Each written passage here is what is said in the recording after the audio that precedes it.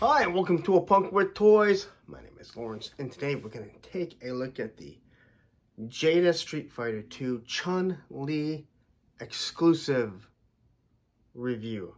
Now, I know what you're saying right now. An, ex an exclusive Chun-Li? That's what your thumbnail said, and you know what? I'm just going to say it. It's a little bit of clickbait, but it's kind of not. See, why this is an exclusive is because during one of my live streams, everyone said they wanted me to order this so I could review it to go along with my Ryu. And I'm like, hey, you know what? Made some comment about like, hey, if I get enough super chats, I'll order it and do the review. Well, guess what? They all sent enough super chats, so I ordered it. Now it's finally come in, so technically this is an exclusive review for my channel. Again, a little bit of clickbait, but it's never hurt anyone. Hell, every other channel seems to be doing clickbait. Why shouldn't I? I'm just kidding. clickbait is stupid. Anyway, let's get to this figure right here. Anyway, this is the Jada Chun-Li. I do have the Ryu. I have no affiliation for uh, Fei Long that came out. But I needed someone to obviously do against Ryu. And until Ken comes out, which now has been pushed back, I do believe, till March. Well, guess what? So here it is. Uh, the box looks like an arcade game system for Street Fighter 2. You have all the uh, the buttons, you your little dial and everything. You got two different head sculpts. You got your hand, you got your little kicking motions, and then you get a wonderful looking Chun-Li. And on the back you have Wave 1, but you also have the characters in the cross cell, which is also kind of like the video game. So there you go. I love the fact that this does look like an arcade console. It's got Chun-Li down here. So anyway, you guys don't really want to watch this. You want, well, you don't really want to look at this. You want to check out this figure. And I know a lot of you already have it. But hey, you know what? If you haven't picked it up yet, Hella Dope Toys does still have some. And I know they are popping up all over the place. So anyway, let's just get to it. But before we do, if you like the content that I'm giving you, take a second hit that subscribe button, hit that like button, hit that bell notification so you're notified every time I drop a review of some sort of weird toy or hell, maybe when I just go live. Let's take a look at this. All right, now she's out of her uh, plastic prison, and I have to say, if this is anything like Ryu was, these things are better than they deserve to be. Jada just knocked them out of the park. So quickly, let's take a look at this face sculpt. Uh, it looks really good. Now, it doesn't remind me of, I mean, it reminds me of Chun-Li, but I guess I'm so used to looking at the 16-bit version. Uh, it's not fully what you think of, but the eyes look good. They're looking straight. She's got these nice little eyebrows. Her hair is pliable, so it moves. And I wish, I wish some other companies would kind of maybe take this approach. You see her, uh, her little pigtails that she has here. All of this stuff is super pliable and moves. It does not get in the way. So she can look down, look up. Gets her head kind of moves back and forth where the neck looks like it's on a joint along with the head here. Uh, the designs on the shirt. Now, there's a little bit of paint that's missing. I can't say missing. They just kind of uh, missed the mark there, but not really a big deal. I mean, you really have to pin, pick at that, but everything else looks fairly good for the most part. You can see they kind of missed it right there, so maybe not the best paint ass. Maybe this was a Friday that it came out, but that's nitpicking. And again, what can you say? So let's get her into a T pose. No problem there. Arms move up and down. Double pinless right here. She got her little spikes on. Paint looks good. This arm, again, no heating at all, as you saw that I opened it up great Jean-Claude Van Damme, as they definitely should. No drop-down hips, which doesn't bother me at all. She got her thigh swivel. Big, giant thighs, which is just hot in, in real life. Look up Miss Carrie June if you like a female with some big, thick, sexy legs. Double, double pinless joints there, knees. Boot cut, ankle cut. Now I'm having a slight, little bit of a hard time bending this knee. There we go. So it just needs to be loosened. Again, if you feel that it's too tight, hit it with a little bit of hot water or blow dryer. There's no need to be super, no need to be He-Man or Superman or whoever is super strong just to prove your point. Now, right here looking at this skirt or whatever it is, you someone can correct me. It is so pliable. I absolutely love it. I talked about it on Ryu here, maybe Ryu. Someone's going to correct me, I'm sure. But either way, that his suit is very pliable. And I would love for G.I. Joe or some of these other companies that are going to use an overlay to use this type of plastic or rubber. It's just so nice. So you look at her boots, there's nothing to them other than they're laced up nice and easy and then we just get her to stand. No problem. We bring everything in. There we go. So now let's take a look at what she comes with. So she comes with her very angry face, which, oof. Look at that. Now that is a bad, now that is a QC issue right there. Kind of look at that paint there. That looks awful uh, when you get close to the camera that just doesn't look really good. Don't look at my thumbs. My hands look bad too. She's got her earrings in. Again, this is all pliable. But I have to say, I got to pull off my, my glasses here. When you look close, and I believe someone else had something very similar.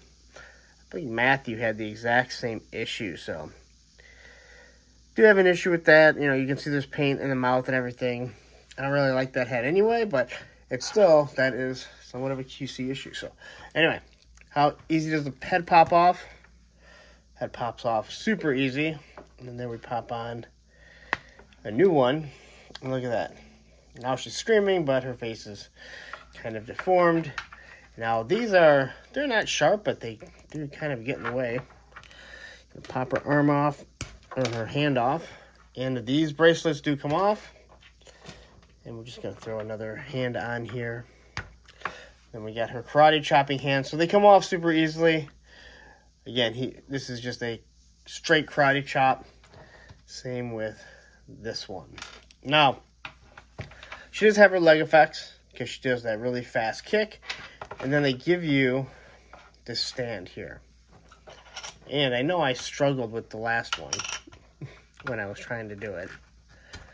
And the reason why I believe I struggle with the other one, is because uh, you have to, like, just the translucent rubber that they use here, or plastic rubber, was really hard to see on the ball. Here's the actual ball here, boom. So, this is just kind of kind of plug right in. I feel like something just is not right. Like this, look at that. This has this little plug on the top. And yes, I know exactly what I just said there. I'm assuming that's supposed to go in there. Man. Kind of got to wiggle that in there, it seems. I don't remember that one having any issues like that. It just kind of plop, plop, fizz, fizz right in. But it's able to move, as you can see, in different directions of where you want it in different heights. So, how easy does she pose? Well, we can quickly get her into a kick pose. And her knee seems a little loose, but I feel like she's not going to stand all that easy without using this thing. So that's a little disappointing. I had no issues with Ryu posing him. But we're going to get her in here. Look at that. So that's how she kind of poses right there. I gotta say, I'm not too happy. I don't really like this karate chopping hand as is. So let's get this thing back on here. Let's get her fist back on. I like the way she looks right out of the box. But I do, I'm not happy with that paint on that face. It definitely seems like a major, uh, just a distraction if you like that. But I can't get her on one on one leg. As big as these, as big as these monster legs of hers are, she definitely does not want to stand all that well on one leg.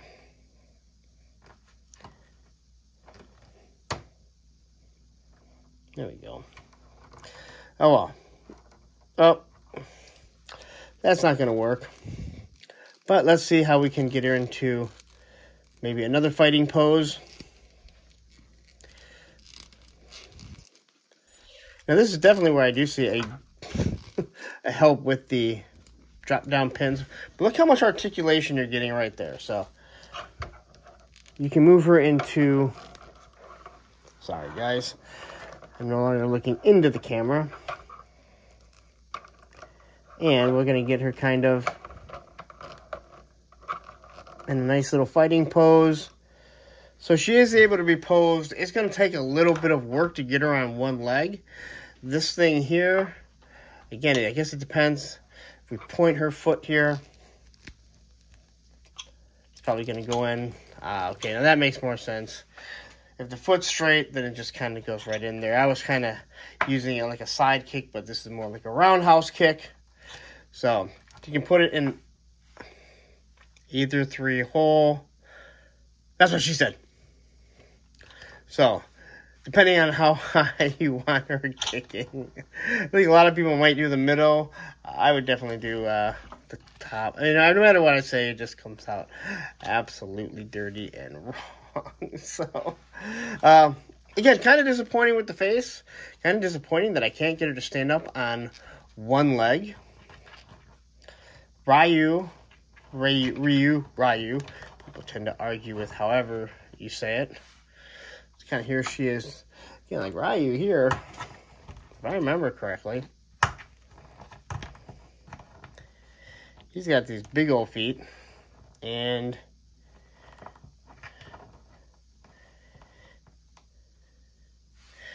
and no problem getting him in.